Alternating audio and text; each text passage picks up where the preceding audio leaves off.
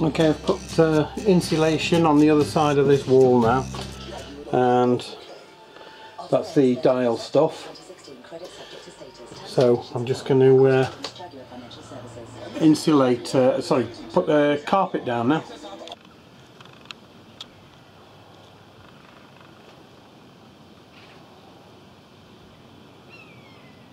Just to show you, all this has been done now with a matte varnish or a satin varnish to protect the wood. So I've gone all the way along here now and then down here is all lined as well ready because that's where the cupboards all go where the uh, fridge and everything it's all back there just ready to put the vents and stuff in and uh, I thought I'd move through just before I wrap the day up and just to give people an idea of a bit of progression that things are actually happening so that's insulated on that side and I've also put the carpet up. The carpet is just your average you know it's not foam back it's a you know uh, a material you know. You can see there look. And all I've done is pinned it with a couple of nails you know measured it cut it pinned it there and then rolled it all the way up and then just held it and put spray glue all the way down and then just rolled it out slowly onto itself. And you can see it's gone on absolutely beautiful really nice finish as well. And this is all ready now. So cupboards will be going in. This side of the van is getting very close to sort of looking something like okay? Right this is video number four. I've started doing the kitchen unit now. Um, I've cut this down to size and I'm now fitting the sink. So I've marked it. What I'm going to do now is drill it jigsaw this space out. Then I'll put the sink in see how it goes and then I've got a grinder with a sander on. And all I'll do is I'll just keep working at the edges until it drops in nice and flush. Um, I have to turn the radio off because on the last video copyright issues believe it or not so that's where I'm up to now. So I'm just starting with the uh, fitting that. And also the offcut there. That I'll use that as might use that as a splashback you know. See how see what room I've got anyway so. So that's where we're up to okay? Made a couple of holes out of the corner and then going around with the jigsaw and then I'll show you the finished product when I've cut through. Uh, sink fits in now but this has got some little like screws there look you see. Now it's a bit awkward to mark with a pencil if you look at the colour of this because I've gone for granite. So if you can just see inside there now I've put some masking tape and then I've just gone round it with a pencil there. And I'll do the same here just to show you. You can see. There. So I know where to drill then without drilling the wrong hole somewhere and then that will then drop down and that'll be it fitted like. with the sink on top before all the units go in just to give you an idea. There you go. And the uh, little hob will go on top of here and then the oven in there. Nothing to do with van building but check out this in the sky. Look how weird this is look at the amount of gulls up there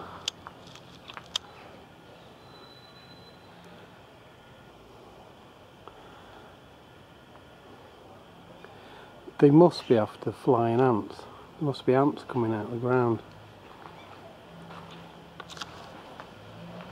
Either that or Alfred Hitchcock is writing another book.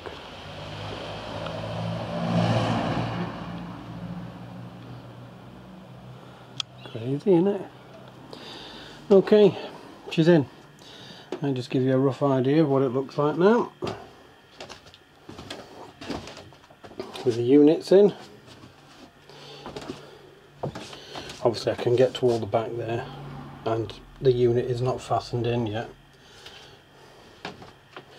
but she's there it's starting to take shape that's the main thing firstly sorry reference the top off it's just too warm and to all them skinny people watching your metabolism will slow down one day too right just to show you quickly the saucer, you know, the drawer for the cutlery and everything.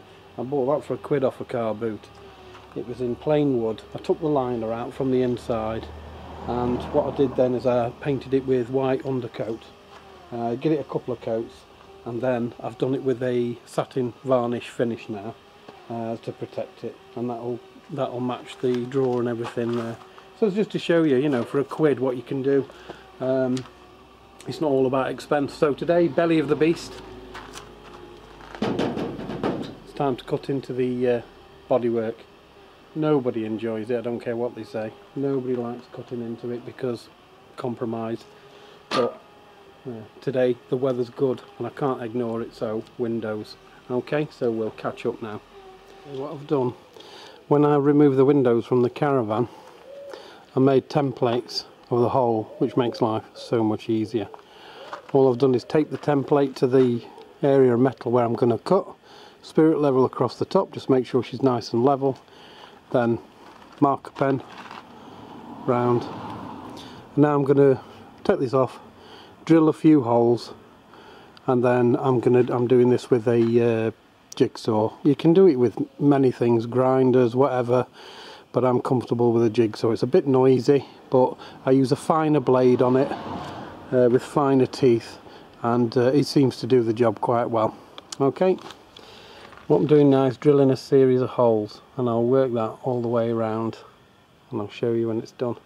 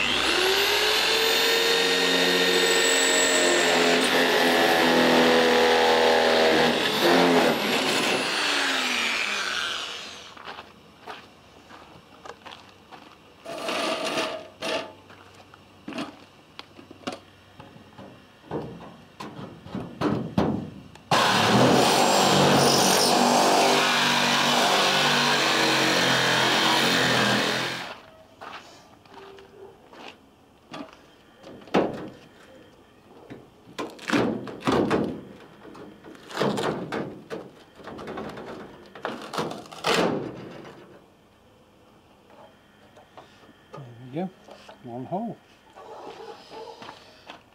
The cut, wood fitted, there you can see here look, um, and then uh, primed because of obviously this is bare metal all down here so that's been primed. Then the, uh, we'll get that gear somewhere. Um, this is the wood cutout that was over the top of it so what I've done is I've uh, varnished this bit here to protect it for uh, give it some longevity as they call it. And then the other side I've carpeted obviously the template is cut out and everything. So I'm going to fit that to the inside now before I put the window on. Vest back on just for the health and safety. Um, I've just put the window rubber on just to test it, just to see how it fits and everything, but I can't secure it until I've actually fitted the window because the, the catches will come in at a certain place. So what I'm going to do now is just take this rubber back off and then fit the external window. Um, but what I've done is tidied up that trim, put a bit of carpet over it and everything, painstakingly drilled it and fitted it. Um, what I would recommend next time is if you are fitting carpet is you can get those little press studs with a metal you know like a hole. Because as I've mm. drilled it's pulled at the carpet thread. So what I've done is stabbed it with a small screwdriver then stabbed it with a thicker one made a bit of a hole so I'm not touching the drill bit.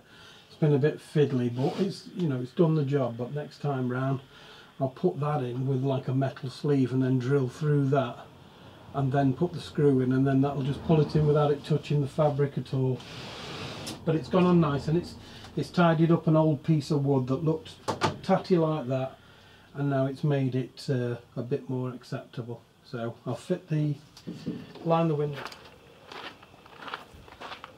okay what I've done is put some of this stuff which is Evo-Stik serious stuff.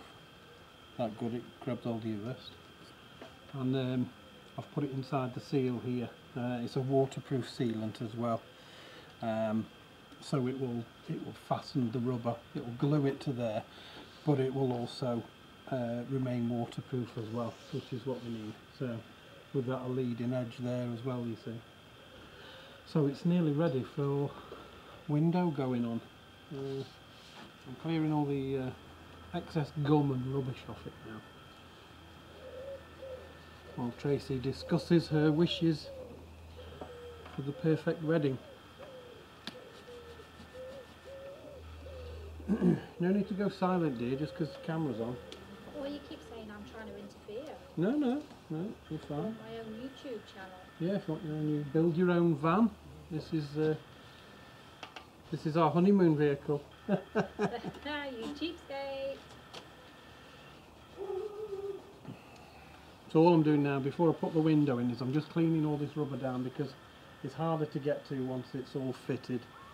Um, so, and the caravan it come out of, they weren't the tidiest individuals in the world, so it just gets rid of uh, any excess grime and botulism and uh, Ebola that might be uh, hanging around on the rubber. Yeah. Also, with cleaning it as well, it's just giving it um, the glue a bit of time to go off as well, uh, which is underneath the rubber. And I'm just cleaning up under there as well. But when I start polishing, I can go up here with a buffer and fetch all that back up nice and clean.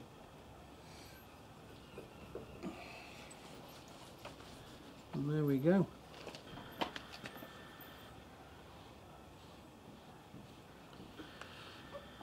There, Just any excess uh, glue off the rubber.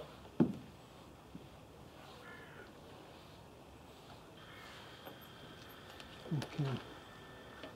I'm going to fit, put the fasteners in now.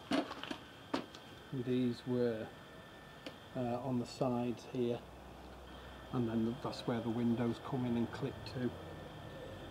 So I'll put them in because I'm thinking before I drill that I could actually put the window in and fasten it and then I can drill at my leisure then. That's the theory. Okay, window's almost in. I've drilled the holes at the top. The mistake I made, I bought the putty that's in a strip.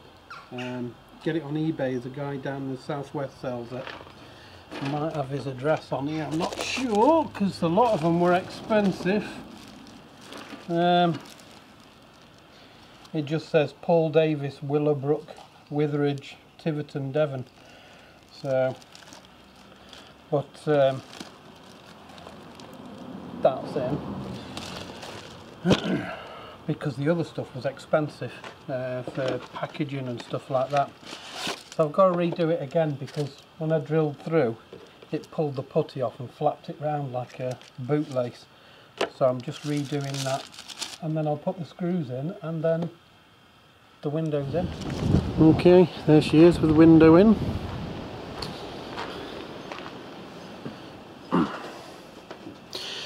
Right, what I've done is emptied the van out. So I think sometimes you can get bogged down with all your stuff. So, to recap, all I've done today is I've, I've just cleaned all the door shuts, but have a good look there. So, you can see there, look, there you go. It's uh, carpeted, all smartened up, all the window locks fasten.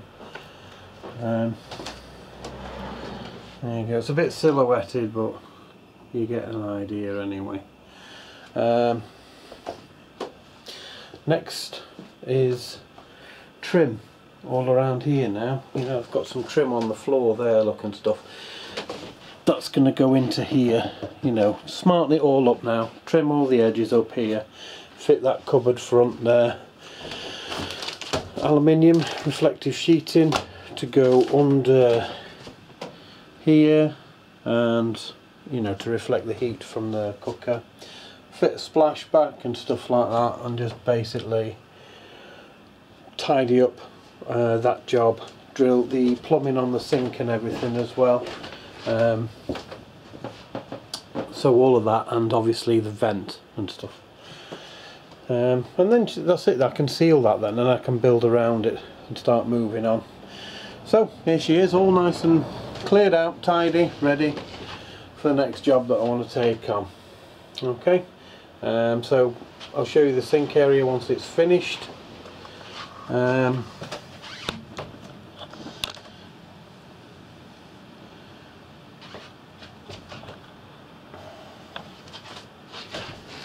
the other the other job I'll probably start doing as well is the roof vent, which um, it's that one I think. It's either that, yeah, it is. It's this one. Or it could be that one. I haven't decided yet because the log burner obviously that'll need to come up here, but I should have room for everything.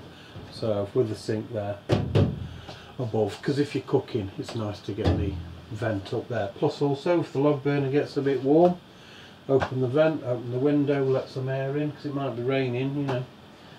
Um, so that's where we're up to at the moment.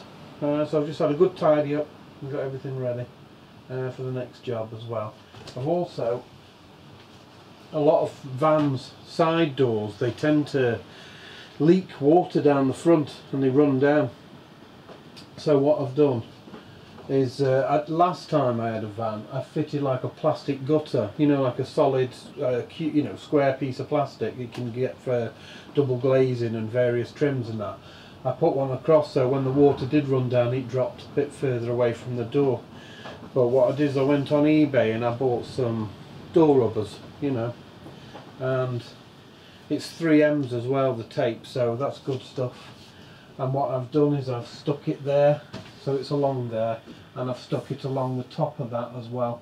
So it creates a nice cushioned seal and obviously the water when it runs down won't be able to run down here. It'll have to run down the front there if it, if it does but it should create a watertight seal because obviously with fitting the carpet and everything here and all that I don't want to be getting that wet now. I want to keep it nice and tidy. So, but uh, okay. So tune into the next one, and uh, I'll show you what I'm up to then uh, on part five. Okay. Thanks for watching. Bye. Shutting.